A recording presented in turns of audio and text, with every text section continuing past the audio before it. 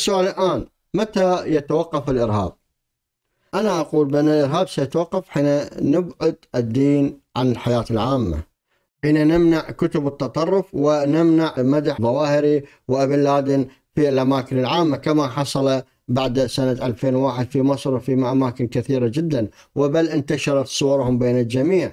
كانت كتب التطرف سائدة جدا وهذا هو اللي خلى التطرف يتضاعف ويديم أوده وحياته. بالحقيقة ما كان أحد يتخيل يوصل الأمر بالتطرف عندنا إلى أن الإنسان يصعد شاحنة ويطلع بالشارع أتذكر في نيس في باريس قبل سبع سنوات ويتهس الناس المارة وبيناتهم أطفال ونساء وما ما حتى بيناتهم عرب ومختلف الجنسيات.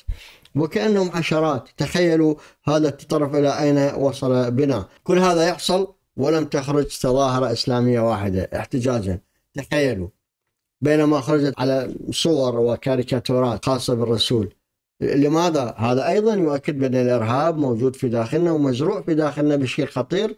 وعلينا أن نعترف يعني مسألة بساطة نعترف بالموضوع. وهذا هو بداية العلاج عندما أنت تشعر بالمرض وتعترف بوجود مرض عند ذلك يبدأ العلاج حتى إذا ما عالجت هاي المسألة فأنت على الأقل لا تنصح أولادك وأقرب الناس إليك بأن يتطرفوا مثلك أو يتعودون على هذا التطرف والنظرة المتطرفة للعالم والحياة والأشياء من حولنا إحنا مثل واحد يعني يتعلم على التدخين عادة سيئة ومضرة بالصحة لكن لا ينصح الآخرين بها فخلينا نتعامل مع الموضوع بهذه الطريقة. بهذا الشكل من يقول يجب القضاء على فكره الجماعات المتطرفة مثل جماعة الإخوان المسلمين مثلا. هذه كذبة يعني هو المسألة قضاء مو على فكره الجماعات المتطرفة. لا كل جماعات دينية أصلا هي متطرفة. الإرهاب سيتوقف فقط عندما يبتعد الدين عن الحياة العامة. عندما يطبق القانون يبعد الدين مو مو فقط يبعد الدين عن الحياة العامة لا يبعد الدين ويطبق القانون وتطبق الحريات العامة وتطبق حقوق الإنسان. بعد ذلك كل شيء يمشي عدل. من لا يصرح بهذا الشيء هو الإرهابي الحقيقي. من لا يقول ويدعو إلى هذا الشيء هو الارهاب الحقيقي. سنقول فقط متى نقول أن الإرهاب انتهى؟ حين لا نجد أحد يعلق قائلا لي في التعليقات أنت كافر أنت ملحد. ويبدو أنك ملحد. محاربة الإرهاب تبدأ من هنا.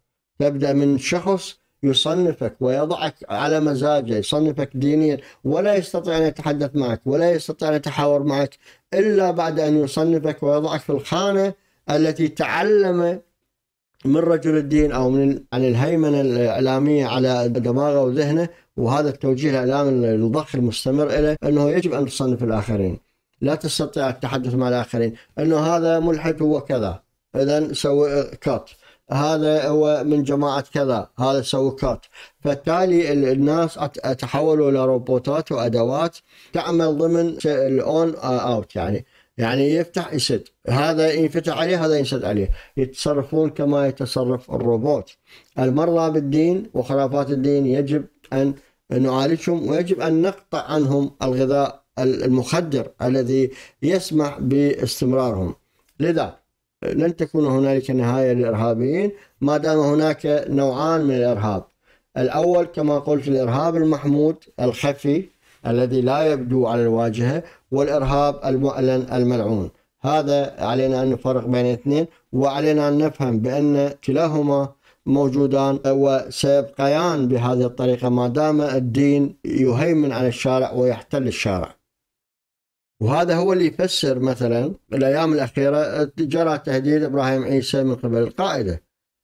مر الحدث بدون اهتمام وكأن الشيء لم يكن. لا أحد يبالي من هؤلاء الذين يحاربون الإرهاب تخيلوا. لا أحد يبالي ببيانات الإرهاب ولا كتبه ولا ثقافته التي تنتشر ما دامت بأيدي أمينة أي موالية. ما دام هذا رجال الدين الذين يبثون هذا الإرهاب المحمود يعني مسيطر عليهم آه، أمنيا وحكوميا. يعني إحنا قلنا إرهاب محمود إذا تريد تخلص إرهاب ماذا تفعل؟ تزيد من نسبة وعي الجماهير والناس وهذا لا يحصل لا أحد يهتم بنشر المناهج العلمية بالعقل النقدي بين مدارسنا وأجيالنا الجديدة بل على العكس ينشرون الحجاب الحجاب الحجاب أهم من الفكر وأهم من التفكر وأهم من الوعي وأهم من نشر العقل النقدي وأهم من نشر الأخلاق العامة بين الرجال والنساء وأهم من رفع كل ما هو ما يميز بين البشر. بدل من هذا ماذا تفعل؟ يرفعون الحواجز يضعون الحجاب بين المرأة والرجل. أيضا الرجل نفسه يضعون يضعون فاصلا بينه وبين الآخرين. هذا مسلم وذاك ذمي. وتبدأ تصعد هاي الأمور إلى أن يتحول المجتمع إلى إلى جزر متقاطعة متداخلة مع بعضها ومتصارعه أبد الدهر. كما يعني كل من ينظر إلى الخلف على مدى ألف سنة مضت ماذا يرى؟ يرى هاي جزر متصارعة جماعات تحارب متقاتلة مع بعضها كما يقول ذكر أدونيس يقول نحن بحيرة جفت وراحت أسماكها تأكل بعضها بعضا. هذه هي الصورة بالضبط التي نحن عليها الآن. هكذا يصبح حفظ القرآن أهم من حفظ حق الإنسان. وأهم من حفظ حقه وكرامته ومن حريه حرية التعبير. لننظر إلى العالم العربي الآن المنحط بكل ما في الكلمة من معنى. لنرى كيف يتم نشر كل ما يعطل العقل ويدمر المنطق السليم. لننظر ونرى كيف يجري دعم ونصرة كل ما ينتهك كرامة الإنسان ويحد من شأنه. وطبعا لن يجدوا أفضل من الدين ليفعل ذلك. أليس الإنسان عبدا؟ هذا هو الدين. عبدا مكلفا عابدا مطيعا لأولي الأمر. انتهى. يريدون الحرية يقولون الحرية. أنت عبد يا أخي أنت بحر. أنت عبد لله. أنت بحر. الحر يكون عبد للشيطان. أما العبد المسلم هذا عبد لله عز وجل. وعبودية الله هي الحرية الصحيحة. أما الانطلاق والانحراف هذا ليس حرية هذا عبودية للشيطان عبودية للشهوات عبودية للدنيا. أنت عبد بلا شك. إما أن تكون عبدا لله وإما أن تكون عبدا للشيطان وللهوى والشهوات. ما أنت بحر يا منين الحرية؟ لكن عبودية الله هي الحرية لأنها تحررك من الشيطان وتحررك من الفساق ومن الشهوات. هي اللي تحررك صحيح. لا قيمة لهذا الإنسان وهذه دعوة غربية مدسوسة دعوة من الكفرة أنه شنو الإنسان يتحول من عبد إلى إنسان حر على أي أساس؟ هو عبد لله عبد لولي الأمر. إحنا على العكس ماذا نفعل؟ بالعكس يجب أن نحرر الإنسان من إنسانيته. تخيلوا الدين شاء يقوم على هذا الأساس. يقول لك نحن لا نستعبد الإنسان نحن نحرر الإنسان من شرور نفسه. نخلصه من إنسانيته. تخيلوا هذا الفكر الشيطاني والعقلية الشيطانية التي يزرعها رجال الدين بين الناس. لا هذا نخلصه من الشرور نفسه اللوامة الهمازة اللمازة كما يقولون. انظروا كيف تحولت تجمعات المسلمين الآن إلى ما يشبه حقول الدواجن لكن دون أسوار. فوضى لكنها منظمة ومحسوبة كما يقال. ويقول لك لا تبالي بما يحدث. أهل يعني السادة والعلية القوم كما يقال يقولون هكذا لا تبالون باستهتار وبدون مبالاة وهاي الفوضى ممكن السيطرة عليها ومهما يحدث إحنا مسيطرين وكل الخيوط في أيدينا.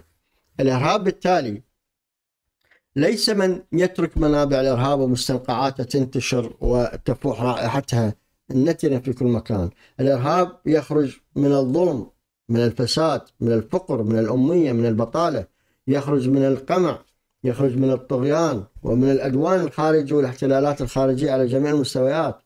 هذا كله إحنا ما نسويه، لا لا نرى هذا هذا الواقع الذي ينتج الإرهاب.